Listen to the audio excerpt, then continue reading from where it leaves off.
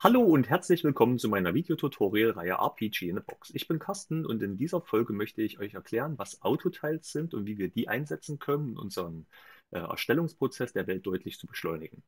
Was wir machen möchten in dieser Folge ist Gewässer anlegen, wir wollen aber auch ähm, Sand- und Grasflächen abtrennen und wir wollen das Konzept Autotiles dazu einsetzen. Ihr kennt das bestimmt von einigen anderen Web-Editoren schon dass man Übergänge zwischen Terrains definieren kann, dass wenn man Gras und Sand malt, am Übergang eine Übergangszone entsteht. Und auch sowas gibt es in RPG in the Box und es versteckt sich im Map-Editor hier oben unter diesem Symbol als Create Autotiles.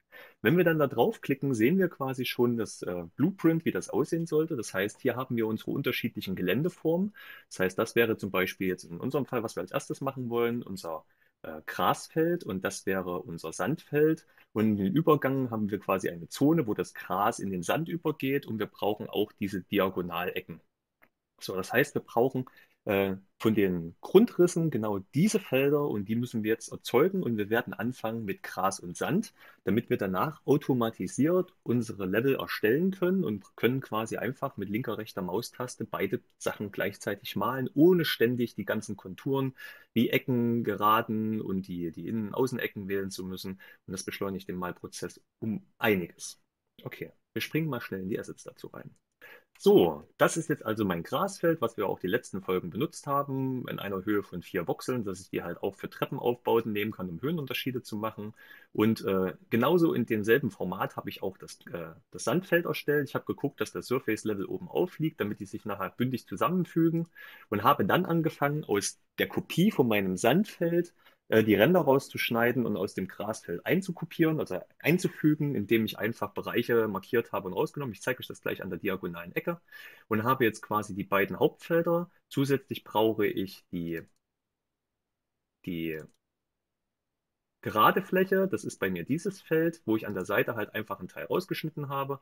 Dann brauche ich die äh, die Innenecke, das ist bei mir dieses Feld. Ich brauche die Außenecke, das ist dieses Feld. Und ich brauche die diagonal gegenüberliegenden Außenecken. Die kann ich, die habe ich schon angelegt. Man kann die aber, um euch das zu zeigen, einfach auch äh, machen, indem man zum Beispiel einen Teil aus dem Model ausschneidet, auf der anderen Seite kopiert oder aus irgendeinem anderen Model kopiert mit Steuerung C und Steuerung V. Und dann könnt ihr das danach einrotieren und könnt es speichern und könntet somit äh, die diagonalen Ecken erzeugen.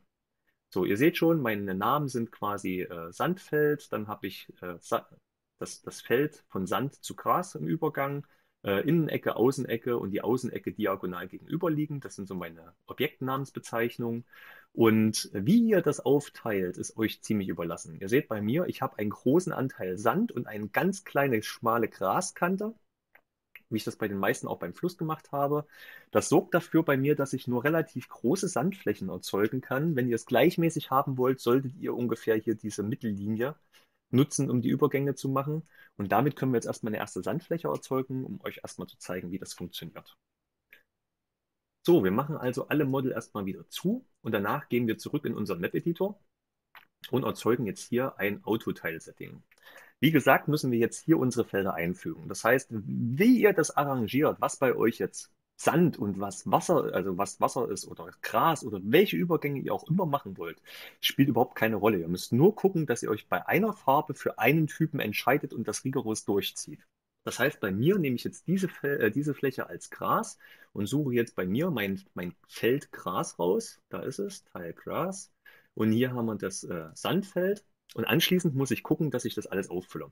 Das heißt, hier brauche ich jetzt quasi Sandgras gerade und das mache ich jetzt viermal hier rein. Und dann brauche ich bei mir diese kleine Ecke, das ist die Außenecke. Die mache ich jetzt auch viermal hier rein. Und anschließend kann ich mit der rechten Maustaste einfach meine Felder drehen, wie ich das haben will. Und ihr seht hier, der kopiert sich diese vier Felder schon hin und passt die auch automatisch an, weil das einfach Duplikate in einem anderen Winkel sind. Das erkennt die Engine also ziemlich selbstständig und das ist schön. Und hier muss meine Innenecke rein. Das heißt, wir machen auch diese vier rein und richte die aus. Wichtig ist, ihr müsst in jedem Feld etwas reinsetzen. Ihr könnt keines der Felder freilassen, sonst könnt ihr nicht speichern. Generell braucht ihr auch einen Namen. Das heißt, wir machen jetzt Autoteil Group von Gras auf Sand. So, und ihr seht, ich kann nicht speichern. Ich muss jedes Feld belegt haben. Und jetzt brauche ich quasi die, ähm, die Diagonalecken die bringe ich hier rein und muss sie anschließend speichern. Oh, habe ich das jetzt richtig rumgemacht? Ich hoffe schon. Ich speichere das jetzt einfach mal und damit ist das auch schon fertig und er fragt mich jetzt, ob ich auf die Autoteils zugreifen will, um die zu nutzen. Und ich sage einfach mal ja. So, wichtig ist folgendes. Seid ihr bei den Autoteils, verschwindet der Place Mode Box. Ihr habt danach nicht mehr die Möglichkeit, eine Box-Auswahl zu treffen. So, ich zeige euch mal kurz, wie wir jetzt malen können. Ähm, ich möchte das mal nicht hier auf der Karte machen. Wir nehmen einfach mal eine neue Testkarte und toben uns hier aus. Da ihr den Box-Mode nicht habt, müsstet ihr jetzt mit gedrückter linker Maustaste Felder einzeln ziehen. Wenn ihr die rechte Maustaste drückt, erzeugt, äh, wechselt ihr von, äh, von unserem Gras zum Sand, also von einem Feld zum anderen. Wenn ihr schnell arbeiten wollt, könnt ihr euch behelfen, indem ihr hier oben den Filter einfach von den Autoteils auf die Taglist oder irgendwas anderes setzt. Und jetzt könnt ihr durch das Duplizieren, könnt ihr einfach mit gedrückter äh, Alt-Taste, könnt ihr den Typen kopieren und mit der Steuerungstaste die Höhe und könnt hier mit B oder aus dem Box-Mode hier drüben einfach mal einen Rahmen ziehen. Das geht viel schneller, als das mit den anderen Sachen zu machen. Das heißt, wir wählen jetzt hier die Autonavigation ab, sollten das vielleicht nochmal rückgängig machen, könnt ihr auch anlassen, es spielt eigentlich keine Rolle. So, hier kriegt ihr schnell ein Feld hin. Das ist ansonsten eine ziemliche Plackerei, wenn ihr das mit den Autoteils machen wollt, wenn ihr eine große Fläche bearbeitet. So, dann gehen wir auf die Autoteils, nehmen das Ding und können jetzt hier sagen, wir nehmen die Sandfläche und jetzt, wenn wir irgendwas setzen, seht ihr, dass es aufgefüllt wird. Das heißt, wir können jetzt hier schöne Übergänge machen und können Sand-Gras-Übergänge machen. Ihr könnt das auch jederzeit wechseln und könnt das reinplatzieren und jetzt seht ihr quasi, was ich meine. Meine Grasflächen sind relativ klein, das sieht man jetzt hier. Wir machen das mal so. Das ist eine Grasfläche und jetzt mache ich hier drüben nochmal eine Sandfläche und packe mal ein Gras rein. Dann seht ihr, die sind uneinheitlich groß. Bei mir ist der Sand deutlich größer als das Grasfeld. So, somit könnt ihr das schön machen. Das ist jetzt ganz cool, aber ihr wollt natürlich vielleicht noch ein paar Sachen mehr haben. Das heißt, wir können das jetzt auch noch kombinieren und können jetzt noch einen Übergang machen zu Wasser. Und da habe ich vorgesehen, wir machen mal flaches Wasser und tiefes Wasser und nachher kommen wir sogar noch zu Gebäudekomponenten. Aber ich zeige euch jetzt kurz die Assets, die ich noch angelegt habe. So, ich habe also anhand unseres Flusses, den wir ja schon mal gemacht haben, hier unten ist er, habe ich einfach die Höhenannahmen genommen und habe die reingebracht. Zwei Felder, also zwei Voxel Rand, dann ein kleiner Absatz und äh, mein Gewässer rein und habe daraus mein, mein See erzeugt. Bei mir heißt das Objekt Lake. Das heißt, ich habe hier das volle Feld. Äh, ansonsten habe ich auch mein normales Gras. Die Höhe hier ist wieder äh, 4 hoch. Das heißt, mein Wasser ist ein kleines bisschen niedriger als mein Grasfeld, das ein bisschen einsinkt. Habe jetzt auch hier wieder gemacht. Äh, die gerade Kante, die, halt hier oben ist es, die Innenecke, die Außenecke und die diagonale Außenecke, die wir wieder brauchen, um damit mein, mein Wassermodell zu machen und kann das kombinieren. Und gleichzeitig möchte ich äh, für den späteren Verlauf des Tutorials, wenn ich dann äh, auf die Navigationstypen komme und auf die Teiltypen komme, äh, wo man durchlaufen kann und nicht, möchte ich zwischen flachem und tiefem Wasser unterscheiden. Durch flaches Wasser wird man durchlaufen können, durch tiefes nicht. Das kommt dann aber im späteren Tutorial. Und habe jetzt quasi neben dem See auch noch den Ozean angefangen das heißt, mein Ozean ist auch dasselbe Modell, aber deutlich, äh, deutlich tiefer mit dem Grund und habe auch hier wieder ähm, die offene Fläche, die Seitenfläche, die Innen, nee Quatsch, hier, die Innenecke die Außenecke und die diagonal gegenüberliegenden Ecken, damit sich das ineinander fügen kann und kann jetzt hier auch wieder die Autoteils dafür erzeugen. Das heißt, wiederum, wir springen in den Map-Editor, machen das und haben damit die Möglichkeit, zwischen drei verschiedenen Geländetypen zu unterscheiden. So, wir springen also in unseren Map-Editor und vorher habe ich die Engine einfach nochmal geöffnet und geschlossen, weil ich festgestellt habe, es gibt ab und zu mal ein paar Probleme beim Anlegen der Autoteils. Das kommt ihr komplett drumherum, wenn ihr einfach mal das Spiel kurz zu und wieder aufmacht. Ich habe auch schon Bugtickets eröffnet für die ganzen Geschichten und für Verbesserungsvorschläge. Von daher ähm, wird sich da wahrscheinlich auch was tun. Von Justin habe ich zumindest die positive Rückmeldung bekommen. Und wir legen jetzt an den Übergang von Gras auf den Fluss oder auf unseren äh, See, vielmehr gemerkt. Das ist wieder unser Grasfeld. Und wir können jetzt wieder anfangen zu editieren. Das heißt, hier kommt wieder das Grasfeld rein. Hier kommt unser Lake rein. Oben ist er. Jetzt brauchen wir wieder die Diagonalen gegenüberliegend. Und setzen genau wie vorhin hier unseren ganzen Spaß zusammen. Ich mache das jetzt noch einmal, den Rest nehme ich dann quasi im Schnelldurchlauf, damit ich euch nicht so sehr langweile. So, wir klicken hier einfach alles zusammen und dann richten wir das wieder mit der rechten Maustaste aus.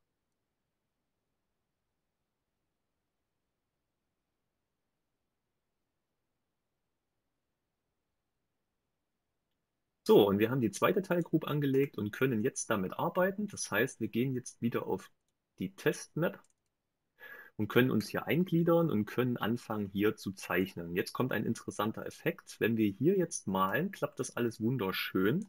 Kommen wir aber hier in dem Bereich der anderen Gruppen ran, haben wir das Problem, dass er das nicht erkennt. Unser Teil oder also unsere Autoteils erkennen quasi nur die Teils die auch in der Konfiguration vorhanden sind und können sich daran anschließen. Das heißt, ich kann in, in jedem Übergang zu Gras kann ich das machen.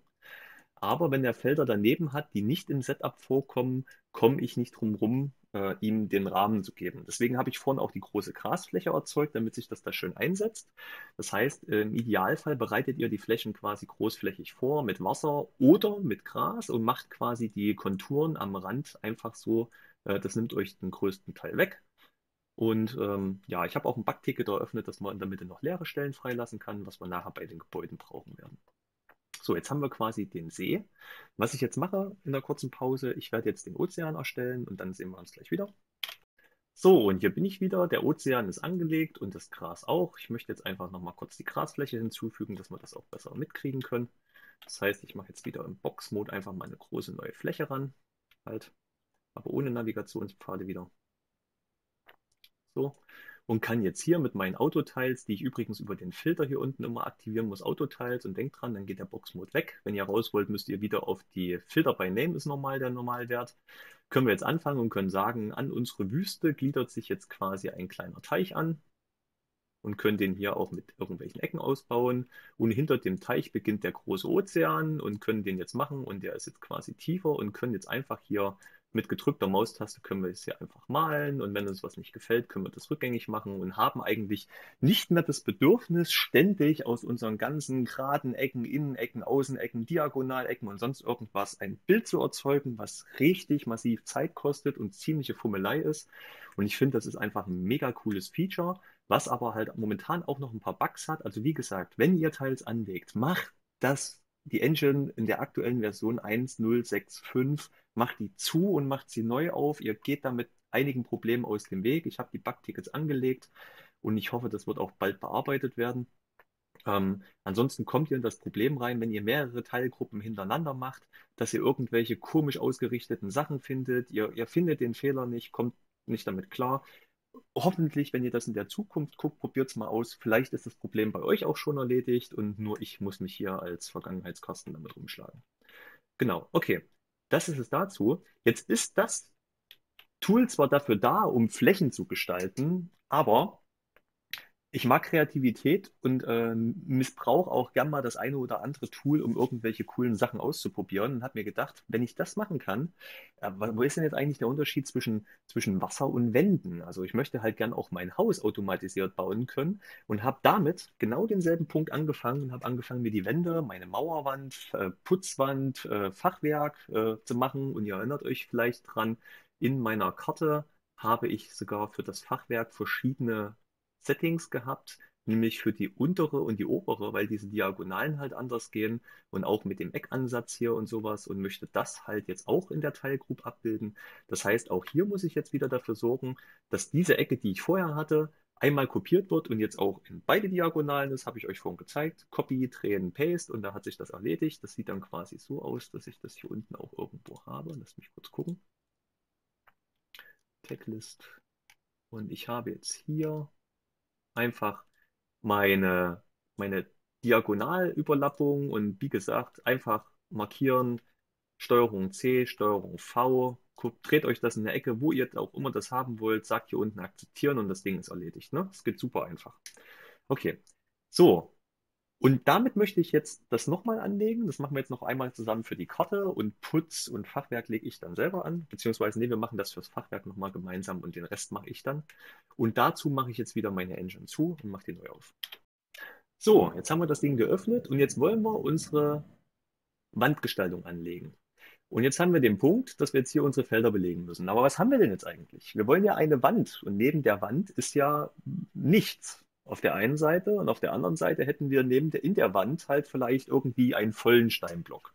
Das heißt, wir könnten jetzt, wir brauchen jetzt irgendein Setting, ne?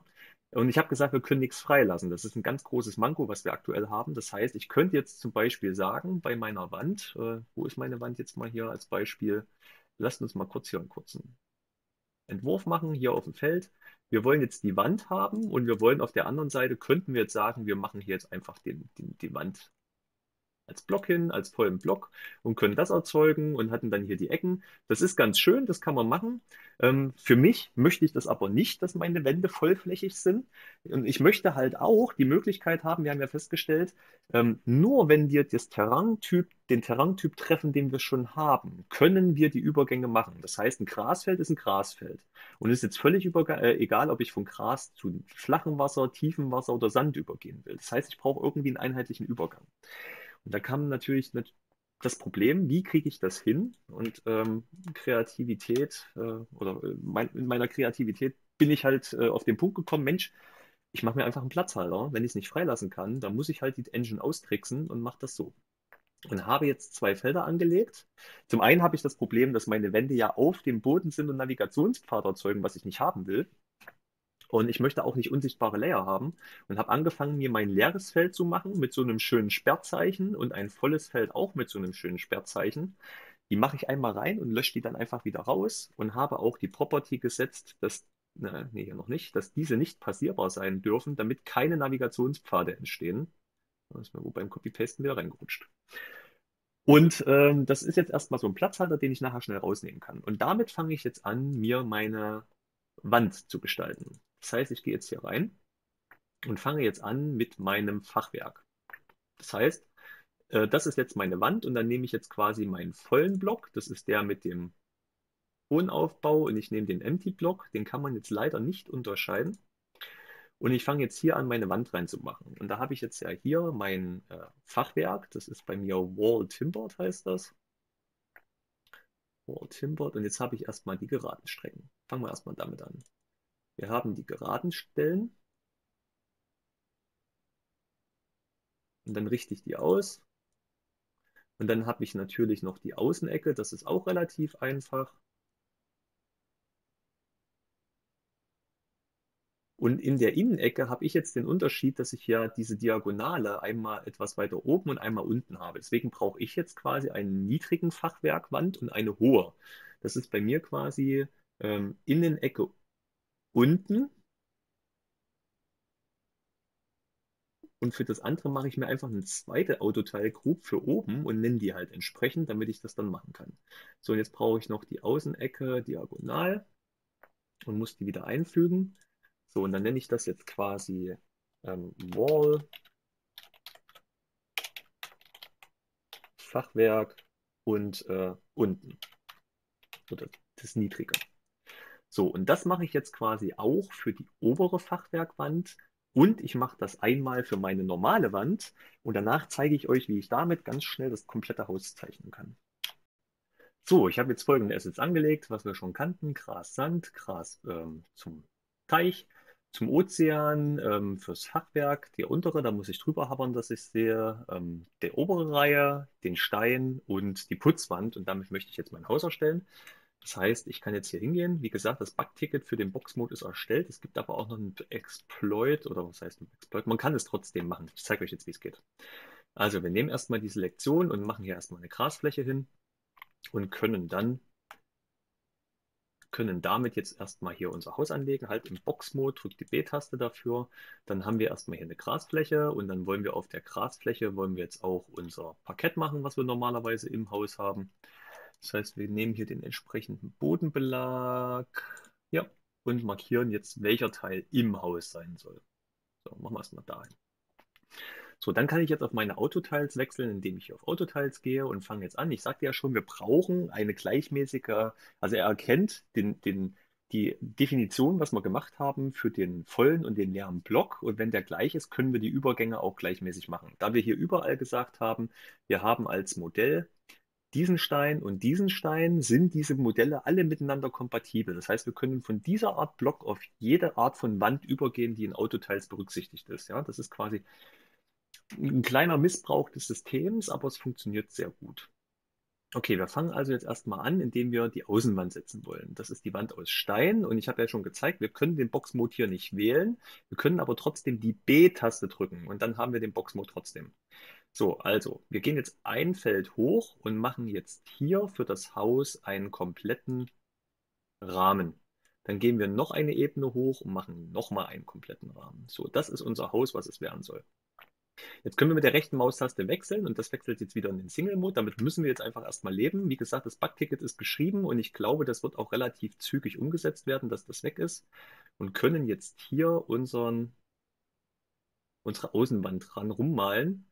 Wir müssen jetzt angrenzend malen, ja, denkt dran, weil wir ja quasi den Übergang von unserem Ausgangsfeld leer, also das Niedrige, zum Hohen machen wollen, sodass er den Übergang ersetzt.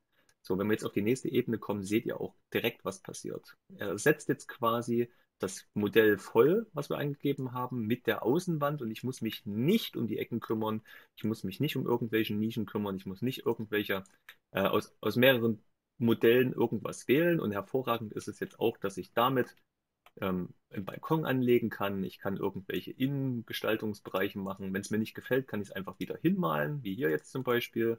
Also ich habe da relativ schön die Möglichkeit zu modellieren und kann jetzt auch den Innenraum gleich mit davon gestalten. Da muss ich mir noch gleich noch einen kleinen Trick machen. Also ich will jetzt hier einen Fachwerkbereich machen, dann nehme ich jetzt das obere Fachwerk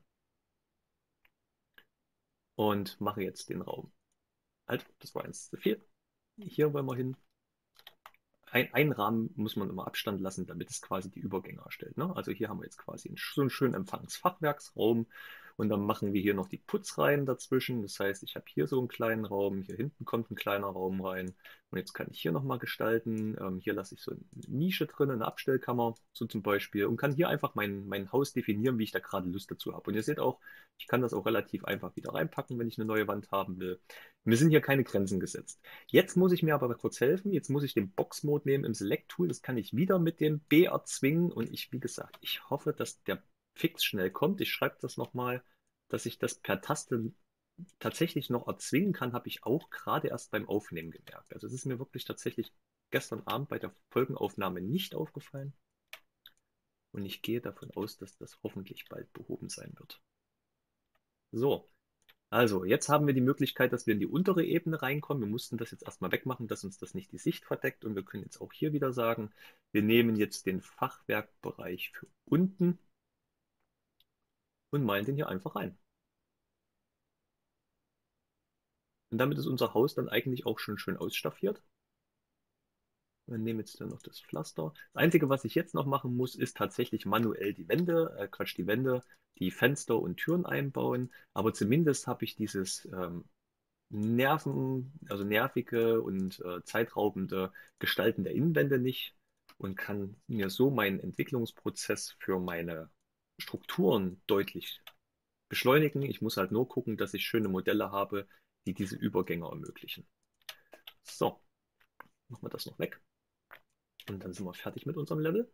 So, ich glaube, ich zu viel weggemacht. Ist es aber auch nicht so wild. Prinzipiell geht es nur darum, euch zu zeigen, was möglich ist. Und ich habe mein Haus fertig. Sieht schön drin aus. Und wenn ihr euch daran erinnert, wie lange wir das letzte Mal gebraucht haben, ist das eine deutliche Zeitersparnis. So, jetzt kann ich hier außen drin noch meine Grasflächen setzen. Halt. Und dann ist das Thema Geschichte. So, ich hoffe, ähm, damit wird das ein bisschen klarer. Wie gesagt, Autoteils war jetzt häufiger mal im Discord-Forum drin, deswegen wollte ich es mal abhandeln und äh, auch mal rauskriegen, was man damit vielleicht noch alles machen kann. Ich hoffe, es hat euch gefallen. Ich hoffe, es äh, hilft euch sehr bei der Entwicklung eures eigenen Spiels, dass ihr euch da austoben könnt. Und wie immer, wenn es euch gefallen hat, gebt mir doch gerne einen Daumen nach oben. Ich würde mich riesig über ein Abo freuen, dass ich aus der YouTube-Bubble ein bisschen mehr Erreichbarkeit kriege und mich andere Leute auch noch finden werden. Und äh, ich hoffe, wir sehen uns in einer der nächsten Folgen. Bis dahin habt viel Spaß, äh, tobt euch aus und macht's gut. Tschüss.